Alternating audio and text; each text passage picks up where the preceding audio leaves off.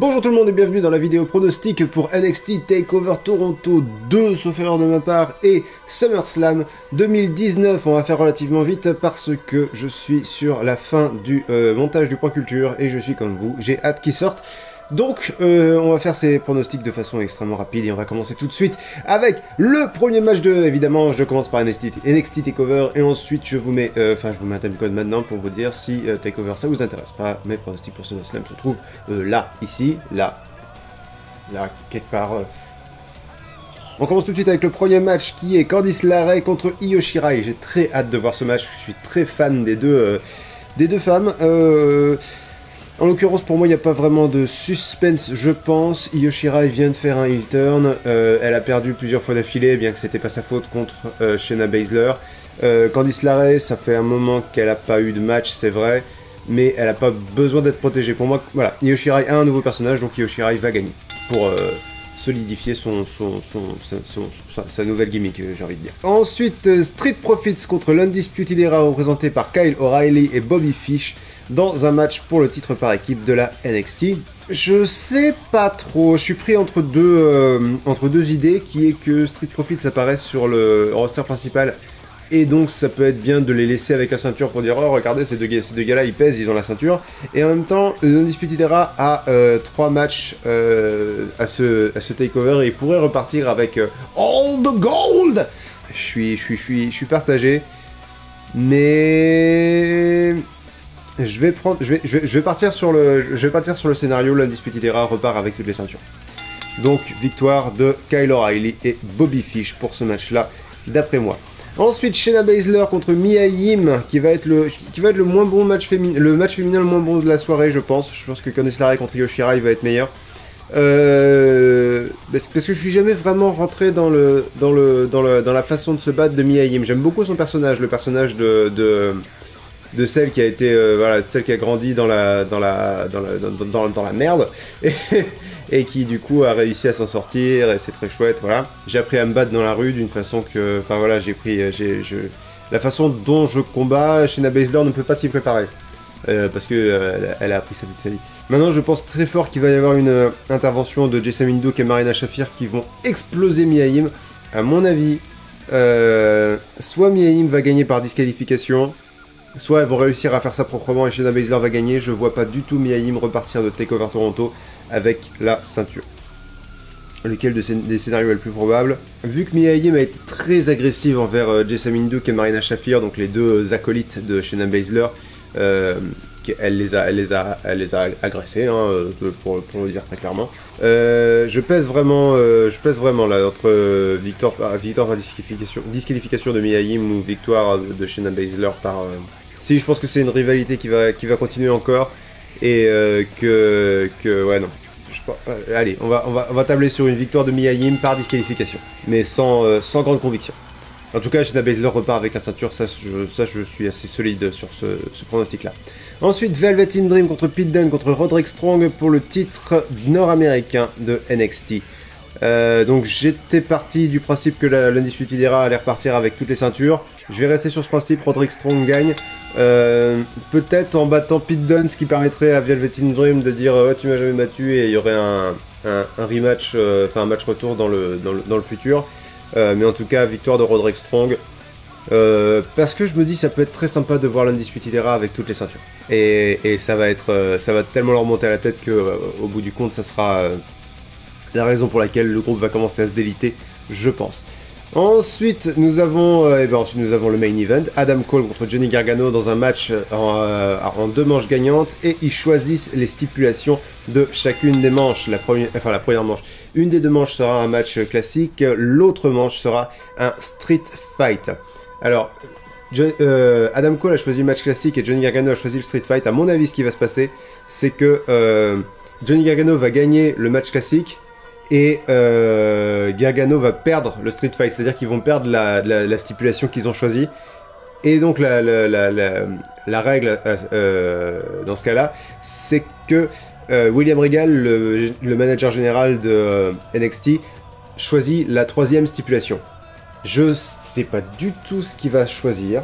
Pour moi, il n'est pas exclu que ce soit un, Iron Man, une stipulation Iron Man de 30 minutes.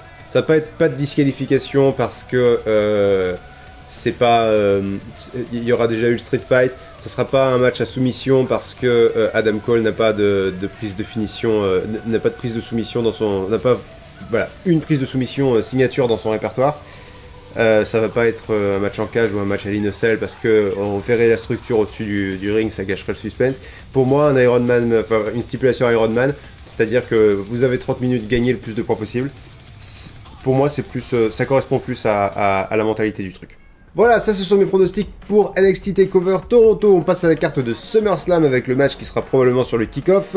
Drew contre Oni Lorcan pour le titre Cruiserweight. Alors autant Oni Lorcan a été vraiment euh, protégé par, euh, par, le, booking, autant à mon avis c'est beaucoup trop tôt pour enlever le titre de Drew et c'est vraiment un champion très, très intéressant qui, donne envie de s'investir dans le truc. Euh, donc ouais, non, je pense que je pense que va gagner. Je pense que ce serait une erreur de faire gagner Oni Lorcan aussitôt dans son, dans son run à, à 205 Live. Trish Stratus contre Charlotte Flair pour euh, rien du tout, pour que Charlotte Flair puisse battre une légende et que du coup on se dise ouais Charlotte Flair est vraiment très très forte. Euh, ça, se passe, ça se passe dans la ville de Trish Stratus à Toronto. Trish Stratus est de Toronto, mais ça changera rien au fait que c'est Charlotte Flair qui veulent mettre en avant, donc c'est Charlotte Flair qui va gagner. Je vois vraiment pas pourquoi Trish Stratus gagnerait là pour le coup. Euh, d'autant que ça vraiment les, deux, les deux matchs féminins de SmackDown ont vraiment été mis en, place de façon à ce que euh, c'est-à-dire Charlotte Flair a dit à, Bailey euh, ouais ben moi je vais avoir une adversaire qui est meilleure que la tienne à, à SummerSlam. Autrement dit Bailey et Charlotte vont gagner et c'est qui battra qui aura le plus de mérite dans sa victoire quoi. Goldberg contre Dolph Ziggler ensuite alors exactement le raisonnement inverse, c'est-à-dire Dolph Ziggler perd tout le temps, donc ils vont faire gagner Goldberg parce que ben, faut que Goldberg se venge. en fait, faut que Goldberg. Euh, je crois que l'expression que je cherche c'est face amende honorable, mais je ne suis pas sûr. De, euh, du match euh, ridicule et du match dangereux et du match pathétique qu'ils ont eu à, à Super Showdown avec l'Undertaker. Du coup, je comprends que Goldberg veuille faire oublier ce match-là en ayant un match dont il a le secret. C'est une bonne idée de faire ça contre Dolph Ziggler parce que Dolph Ziggler, quand il prend les coups, il prend les coups. Euh, il pourra vendre les, sell les attaques de Goldberg euh, comme personne. C'est une bonne chose, Goldberg va gagner, c'est une quasi-certitude. Ce match-là, vraiment, c'est juste histoire de voir l'entrée de Goldberg, voir un Spear, voir un Jackhammer, on sera bien content. Ensuite, Finn Balor contre Bray Wyatt, je suis très partagé, euh, au, alors je suis pas partagé au sujet de qui doit gagner, Bray Wyatt doit absolument gagner, c'est son retour dans le ring après près d'un an d'absence avec un nouveau personnage, avec une nouvelle gimmick, avec une nouvelle aura, avec un nouveau dynamisme. Il faut qu'il gagne. Là, il n'y a, a, vraiment pas le, pas, le choix en termes d'écriture. Ça n'aurait aucun sens que Finn Balor gagne. D'autant que si on se fie au bruit des coulisses, euh, Finn Balor veut prendre un peu de, repos. Là, il va prendre quelques mois de repos après, euh, après SummerSlam. Donc vraiment, ça n'aurait aucun intérêt de faire gagner euh, Finn Balor. Là où je suis partagé, c'est est-ce que Finn Balor doit venir en Demon King ou pas pour ceux qui n'ont pas la, référence, euh, Finn Balor euh, arrive parfois euh, maquillé dans un, dans un, dans, un personnage de, presque surnaturel. et ce personnage-là est encore invaincu sur le roster principal à la WWE. donc, quand quelqu'un réussira à le battre, ça voudra vraiment dire quelque chose, ça aura vraiment du poids. Maintenant, battre Finn Balor, même sans, même sans son, aura de Demon King, ça a déjà du poids. Je pense que c'est suffisant pour, euh, pour, euh, pour dire que Bray Wyatt, euh, c'est du lourd. Je pense qu'il n'y a pas besoin du Demon King. Maintenant, si, si Finn Balor vient en Demon King, ça voudrait vraiment dire non seulement Bray Wyatt est fort, mais en plus il est. Il, a, il, a, il a brisé une série que personne d'autre n'a réussi à briser avant lui. A mon avis, ça peut être utile, c'est pas nécessaire. Je crois pas que ce soit nécessaire. Ensuite, euh, Bailey contre Ember Moon, je vous ai déjà plus ou moins dit ce que j'en pensais. Bailey va gagner dans le sens où Ember Moon n'a jamais été traitée comme une, euh, euh, concurrente sérieuse au titre. Elle a perdu son match cette semaine, elle a perdu un match la semaine dernière. Et la semaine d'avant, elle a gagné un match, mais uniquement parce que elle a gagné un match contre Charlotte Flair, mais uniquement parce que Bailey a distrait Charlotte Flair, ce qui a permis à, à Moon d'attaquer Charlotte par surprise. Donc voilà, Moon n'a jamais été euh, pensé comme une, euh, comme une vraie euh, rivale. Par contre, je pense que le match va être génial. Elles sont, elles sont toutes les deux énormes. Et, je pense que y a, y a, ça, va être un, ça va être un très beau match. Ensuite, nous avons Becky Lynch contre Natalia pour le titre, pour le titre féminin pardon, de, de Raw. Oh le titre féminin de Raw. Ah, ils ont essayé hein, de nous faire penser que Natalia était une concurrente sérieuse. Euh, ça marche pas. Ça marche pas du tout. Euh, si vous voulez, ils ont, ils ont, ils ont vraiment écrit son personnage n'importe comment pendant des années. Elle était, euh, mais elle fait partie de ce, ce, roster féminin qui est pas là et quand il est là, il s'en fout. Donc voilà. Donc maintenant, quand ils ont des matchs, eh ben, on s'en fout parce que ils ont ils ont été présentés comme ça un peu comme Naomi, un peu comme euh, comme euh, comme euh, bah, comme Ruby Riot et Sarah Logan maintenant et Liv Morgan aussi d'ailleurs. En fait, il y a que de l'undercard dans le dans le roster féminin. Il y a l'undercard et le main event. Il y a Becky Lynch, Charlotte Flair, Ronda Rousey quand elle était là, et il y a où se trouve aussi Asuka, Kairi Sane, Alexa Bliss est plutôt là. Mais euh, c'est voilà, c'est, ils savent pas, ils savent pas écrire euh, les personnages féminins. C'est, dommage parce que on pourrait avoir très envie de regarder ce match et ce n'est pas le cas, désolé. Mais Becky Lynch va gagner, c'est une certitude. Enfin, c'est une certitude. Non, sans être une certitude, c'est euh, en fait, si, c'est quand même pas mal une certitude. Ensuite, AJ Styles contre Ricochet. AJ Styles aura probablement Gallows et Anderson de son côté. Je pense que AJ Styles va garder la ceinture parce que je pense que aussi va euh, le alors aussi c'est le nom euh, c'est le nouveau nom de l'équipe AJ Styles, euh, le Gallows et Carl Anderson. Aussi pour the, the, original official only club that matters. Donc le club original, le club officiel et le seul club qui importe. Je pense qu'AJ Styles va gagner. Parce que je, je, je, pense pas qu'ils vont, qu'ils vont faire... ça me semble tôt pour faire un retour héroïque de Ricochet. Ils vont faire un retour héroïque de Ricochet, c'est sûr, parce que c'est son personnage. Là, ça me paraît tôt. Ce serait pas, ça, ce serait pas, ce serait pas déraisonnable, mais ce serait peut-être ce serait... Tu vois, AJ Styles, il a de l'aide dans son, dans son côté, et AJ Styles est déjà excellent quand il a pas d'aide. Maintenant, si AJ Styles a son mot à dire, il faudra peut-être mettre en avant Ricochet. Euh... Non, mais ils sont, ils sont à fond sur le, sur le, OC en ce moment, étant donné que ils ont les euh, Gallows et Anderson viennent de gagner les ceintures par équipe. Non, ouais, ouais, non, ils vont faire gagner le stack. Ensuite, Kevin Owens contre Shane McMahon, et si Owens perd, il quitte la WWE. Ils vont faire gagner Kevin Owens. On remarque, ça c'est le truc de la WWE, c'est qu'ils ils donnent des règles et puis ensuite ils en ont plus rien à foutre. C'est-à-dire que euh, y a quelques années, ils ont fait un match euh, John Cena contre je sais plus qui. Si John Cena perdait, il devait démissionner. Et à la surprise générale, John Cena a perdu. La semaine d'après, il était là. Alors peut-être qu'ils vont faire ça, peut-être que Shane McMahon va gagner, que Shane McMahon va gagner et que la semaine prochaine Kevin Owens reviendra à la WWE, genre ouais j'ai dit que je partirais, mais en fait j'en ai rien à foutre parce que je suis un rebelle, ouais C'est tout à fait dans le champ des possibles de la WWE. Je préfère penser que Kevin Owens va gagner. En ce moment ils investissent beaucoup sur Kevin Owens et je pense pas que ce soit le moment pour le faire, euh, je pense pas que ce soit pertinent de le faire perdre. Autant faire perdre Roman Reigns à, Super Showdown, c'était saoulant, mais c'était, c'était, c'était Roman Reigns n'avait pas grand chose à perdre vraiment à, perdre contre Shane McMahon. Euh, Kevin Owens, si. Kevin Owens, son, personnage est vraiment, euh, a vraiment un élan en ce moment. Faut, faut maintenir cet élan. Ensuite, Brock Lesnar contre Seth Rollins pour le titre universel. Je vous ai déjà dit euh, la dernière fois ce que je pensais de, de, de Seth Rollins. Ah, je sais pas si je vous ai développé mon, ma, ma, ma, petite théorie. Euh, on a une preuve, une vraie preuve que euh, ce, qui posait problème dans Roman Reigns, c'était son booking. C'est qu'ils ont pratiquement inversé euh, les bookings de Seth Rollins et de Roman Reigns. Seth Rollins est devenu le personnage mal écrit, débile, qui essaye de vaincre Brock Lesnar, mais qui a l'air d'un con en essayant de le faire. Et Roman Reigns est devenu très cool. J'aime beaucoup le personnage de Roman Reigns en ce moment. Je le trouve je le, trouve très, très engageant, très. Euh, il a une espèce d'aura de, il a une espèce d'aura charismatique qu'il qui, n'avait pas avant. Et euh, vraiment, je, je, comprends, je comprends le personnage de Roman Reigns, je comprends son, intérêt, je comprends l'attrait qu'il suscite. Euh, Seth Rollins, quant à lui, euh, est, pathétique là, cette, semaine, cette semaine à Raw, mais qu'est-ce qu'il a fait Globalement, la semaine dernière, Brock Lesnar a détruit Seth Rollins.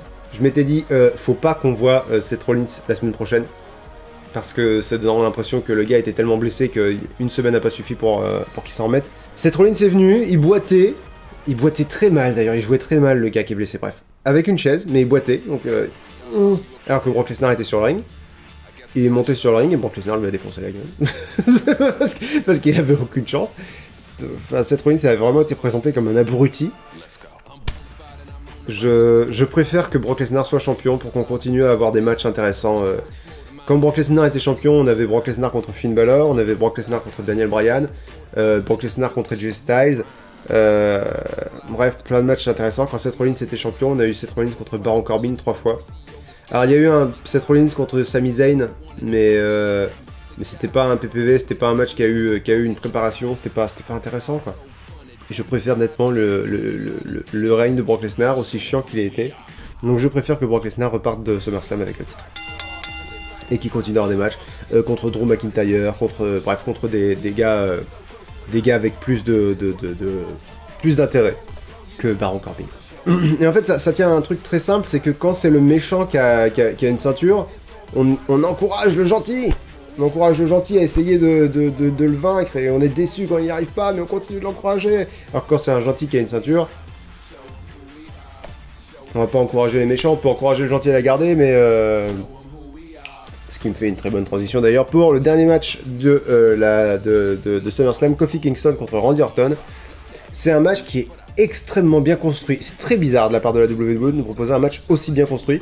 Euh, non seulement euh, sur le court terme, dans le sens où si Kofi Kingston est devenu champion de la WWE, c'est en partie grâce à Randy Orton. Parce que Randy il, devait y avoir un match, euh, un, gauntlet match euh, plus tôt dans l'année pour euh, définir l'aspirant numéro 1 au titre de la WWE. Et Randy Orton a blessé Ali, qui devait, qui devait être dans ce match. du coup, Kofi Kingston a remplacé Ali et c'est là que la, la Kofi Mania a commencé. donc ça c'est le... Et du coup, Randy Orton estime que si Kofi Kingston est champion de la WWE, c'est grâce à lui. mais il y a aussi du booking sur le long terme parce qu'il y a 9 ans, euh, Kofi Kingston devait avoir un push pour devenir un, des main eventers de la WWE. Euh, mais ça plaisait pas à Randy Orton qui était, euh, qui était qui a toujours été un peu un sale con et qui, je sais pas où il en est aujourd'hui, mais à l'époque en tout cas il avait son gros caractère de, gros con. Et, et comme il était, comme Randy Orton était vraiment important à la WWE, il est toujours, hein, mais comme il était déjà important à la WWE à l'époque, euh, il a dit euh, non, je refuse que Kofi Kingston soit, euh, soit, soit dans, la, soit dans la, la, cour des grands. du coup, voilà, il a mis son veto sur Kofi Kingston et Kofi Kingston n'a jamais dépassé un certain niveau à la WWE parce que. pas parce que pendant 9 ans Randy Orton a refusé, mais, à ce moment-là, il, aurait pu, il aurait pu percer et Randy Orton a dit non. Orton a dit il, a, il, cache n'importe comment, il n'est pas fiable, je refuse de, perdre contre lui. Euh, Donc il y a du booking sur le long et le moyen et le, long et le court terme, ce qui est très très cool. Maintenant, ça implique un truc, c'est que Kofi Kingston doit absolument gagner. C'est le premier, euh, premier, j'ai envie de dire depuis Daniel Bryan à, WrestleMania, c'est le premier adversaire vraiment très sérieux de Kofi Kingston. Euh, s'il perd là, tout son règne aura été sera sera dévalué tout son règne aura été, ça voudra dire, effectivement, euh, Kofi Kingston ne peut gagner que contre des gens qui de toute façon perdent. Parce qu'il a gagné contre Samoa Joe, mais Samoa Joe se fait battre par tout le monde. Il a gagné contre, contre qui? Contre Dolph Ziggler. Dolph Ziggler, c'est une blague. Euh, je précise que j'aime beaucoup le catcheur Dolph Ziggler, c'est son personnage hein, dont, je parle. Et, je l'aimais beaucoup aussi quand j'ai repris. Et en fait, il a tellement été bouqué de façon à passer pour un guignolo que ben, je, aucun intérêt pour Dolph Ziggler. Faut Et encore, et il, a, il, arrive à, il arrive à relancer mon intérêt avec ses promos là, ces, dernières semaines. Il arrive à, à, regagner un peu d'estime, de, de, de, prestance. Mais il part, il, là, il part de tellement loin, il a tellement perdu contre tout le monde que. Donc Kofi Kingston doit gagner. Pour moi, c'est une, une évidence. S'ils font gagner Randy Orton, ça diminuera énormément le règne de Kofi Kingston. Même s'ils font un truc débile, genre ils font gagner Randy Orton maintenant et Kofi Kingston arrive à le revaincre plus tard dans un match retour. Euh, non voilà, Kofi Kingston a enfin un adversaire euh, digne de ce nom. C'est pas le moment de flancher, quoi. C'est pas le moment de lui faire perdre. Voilà, c'était mes pronostics pour Takeover et pour euh, SummerSlam. on se donne rendez-vous la semaine prochaine pour le bilan. Normalement, je vais penser à le, faire. Euh, maintenant, je suis un plat préparatif pour le point culture, donc je peux pas vous garantir que je prendrai le temps de faire un bilan.